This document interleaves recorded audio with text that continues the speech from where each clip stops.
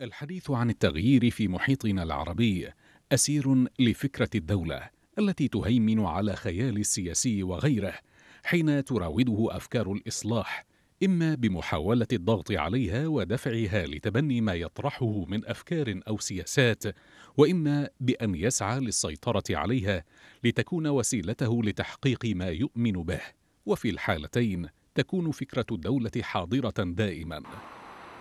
ثمة من يرى أن الدول العربية الحديثة وجدت بفعل القوى الاستعمارية التي قامت برسم الحدود وصناعة مؤسسات الدولة بعد تجزئتها بما يخدم مصالحها في المنطقة بعد الحرب العالمية الثانية.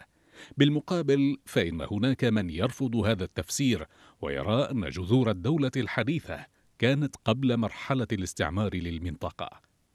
المحاولات التي أرادت التوفيق ما بين التراث والحداثة في معظم الدول العربية بعد استقلالها لم يكتب لها النجاح إذ أصبحت معظمها دولا شمولية لا تمثل رغبات المجتمع وتوسعت الفجوة بين الدولة الحديثة وبين الثقافة الاجتماعية. ففشل ذلك التحديث وتوسعت الحكومات في الاستبداد وقمع الشعوب وإجهاض كل محاولات الإصلاح السياسي والتحول الديمقراطي.